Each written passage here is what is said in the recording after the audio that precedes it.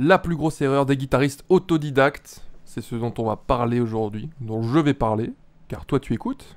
des gens qui ont appris la guitare par eux-mêmes sur YouTube et qui font toujours cette grossière erreur, qui ont toujours cet écueil dans leur jeu. Je sais pas pourquoi je parle de ces gens comme si ça n'était pas moi, je fais partie de ces gens, c'est assez horrible d'ailleurs. Parce que c'est un problème auquel je dois remédier aujourd'hui, alors que j'aurais pu travailler dessus il y a bien longtemps, j'aurais été un bien meilleur musicien.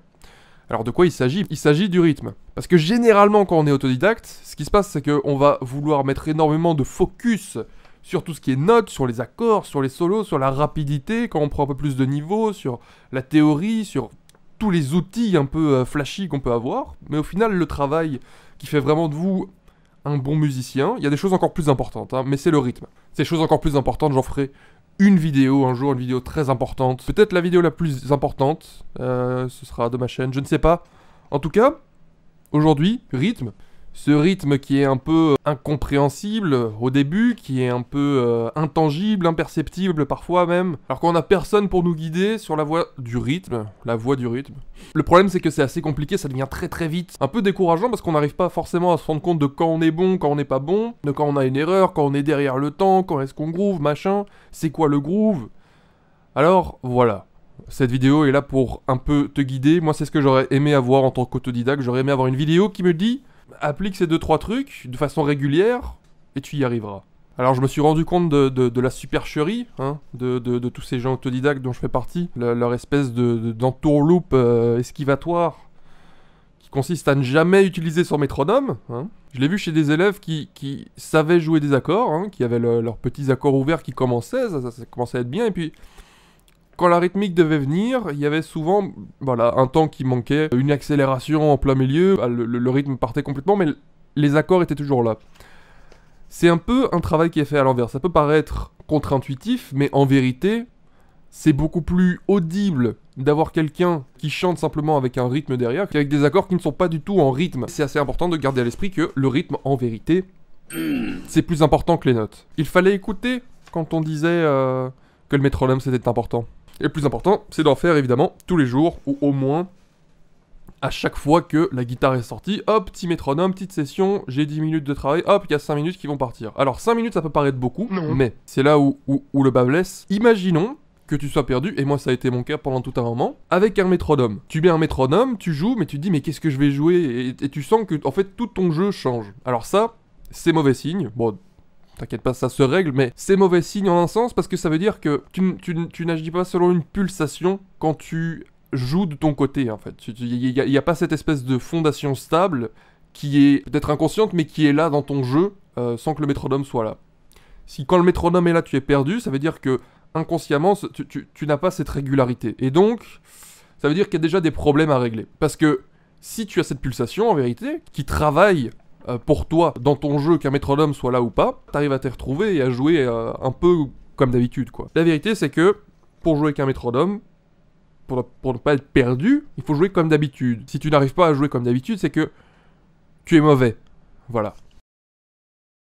Et c'est le point principal en vérité, c'est d'arriver à jouer avec un métronome comme quand tu euh, joues un peu de manière pas très concentrée ou les, Anglais, ils appellent ça noodling. Et ben voilà, quand tu fais un, petit noodling, nouillage, hein, voilà, comme on pourrait dire en français, et ben ce nouillage avec le métronome et sans le métronome, si t'es vraiment à l'aise, ça doit pouvoir être le même. Moi personnellement, comme je fais partie de tous ces gens qui ont procrastiné le travail au métronome pendant toutes ces années, et ben je suis sur la voie pour arriver à, à pouvoir noodler avec un métronome comme je noodle sans, mais j'y suis pas encore. Alors évidemment, tous les jours, je sors mon métronome, tous les jours, je, sens que je m'améliore un peu. Et je, vais te donner de nouveau, comme les Anglais appellent, euh, des petits insights, des petits points de vue qu'on découvre une fois qu'on se met un peu plus dedans, qu'on avance un peu plus loin. Donc je, suis peut-être un peu plus loin, peut-être pas que toi sur la voie, alors je te donne des petits conseils pour arriver à mieux jouer qu'un métronome. Le premier, c'est un truc dont, dont je me suis rendu compte il n'y a pas si longtemps, c'est que pour arriver à bien jouer en rythme et, surtout groover avec un métronome, c'est-à-dire arriver à avoir une musique qui est dansante, qui est à l'aise, qui est bien stable, mais qui en même temps euh, te donne envie de... Voilà, bouger un peu les épaules comme ça. Il faut pas que ta guitare danse, il faut que tu fasses danser le métronome. C'est quelque chose dont je me suis rendu compte personnellement, c'est qu'à chaque fois que j'essayais de faire danser ma guitare, de faire danser mes notes, à chaque fois je me retrouvais à, accélérer, ce qui est mon gros défaut. hein. Je suis toujours un peu euh, avant le temps, même parfois beaucoup avant le temps. Je suis quelqu'un qui accélère beaucoup et je pense que c'est le défaut de beaucoup de gens qui ont essayé de jouer plus vite que la musique, qui ont essayé de jouer plus vite que, ce que leur technique ou que ce que leur feeling le, permettait. Et, ce sans métronome. Et c'est le cas de beaucoup de, guitaristes autodidactes, je pense. Et donc voilà, quand j'essayais de faire danser ma guitare, au final, je me retrouvais toujours à. Pas toujours, mais je me retrouvais souvent à devoir accélérer. Alors, si tu es comme moi dans ce cas où tu accélères, bah, dans, ce cas-là, il faut un peu te détendre, essayer de moins te. Voilà, te tendre, essayer de. de, de de crisper certaines choses sur la guitare, faut essayer vraiment d'être plus à l'aise et limite au début d'essayer de ralentir par rapport au métronome. Si t'as ce problème, moi c'est quelque chose qui, qui m'a aidé personnellement à trouver un plus un juste milieu. Bon, j'ai essayé de mettre un métronome en place, c'est un peu galère. On verra pour les prochaines vidéos. Mais en gros, si t'as une pulsation qui fait pas, pas, pas, pas, et ben avec ta guitare, tu peux essayer par exemple juste de faire le. J'ai du delay. Tu peux essayer juste de faire un. De, de garder comme ça une pulsation qui est constante, et puis euh, d'essayer de, ralentir, d'aller plus lentement, faire. Et au fur et à mesure d'arriver à, à te ralentir par rapport au métronome. Alors évidemment, c'est pas le but final, mais c'est simplement pour te familiariser avec le fait de jouer un peu de manière plus à l'aise, de ne pas accélérer. Bah, c'est quelque chose qui m'a aidé en tant que guitariste qui joue euh, un peu avant le temps, ou même très avant le temps, c'est assez pratique comme exercice.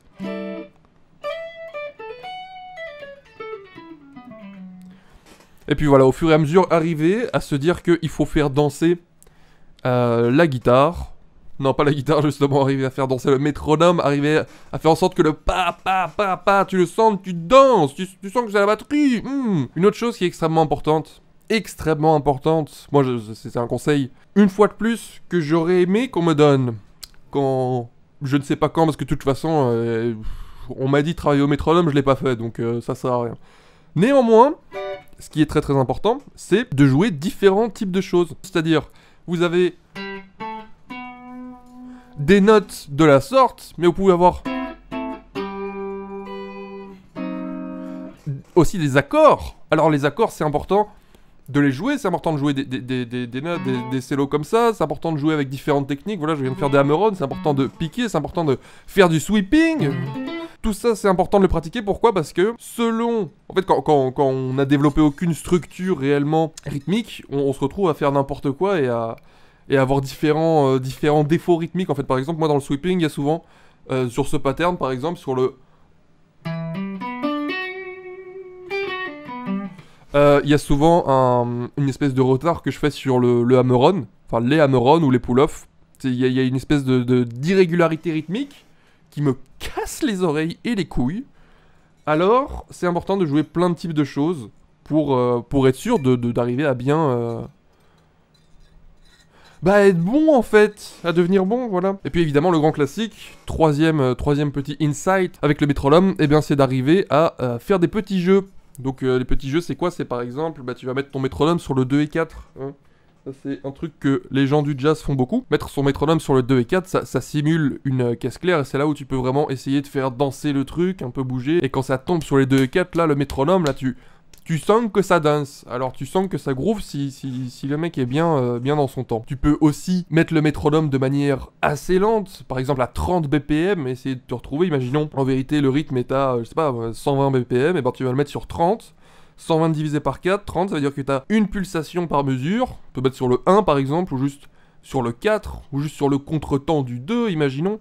Il y a plein de jeux qui sont possibles, parce que c'est important de savoir s'y retrouver dans une structure simplement par exemple en 4-4, mais c'est important de pouvoir aussi avoir une certaine rhythmic awareness, Jean-Claude Van Damme dirait. Une conscience rythmique, où est-ce que tu es dans la mesure, des choses comme ça. Alors tout ça c'est très important de le pratiquer, ça te permet d'être beaucoup plus sûr de toi, et en vérité, il y a de grandes chances si tu es autodidacte, tout ce qui est gamme, accord, euh, théorie, euh, je sais pas quoi, mon cul, tu dois laisser ça tomber pour te concentrer sur le rythme dès maintenant. Euh, moi, j'aurais.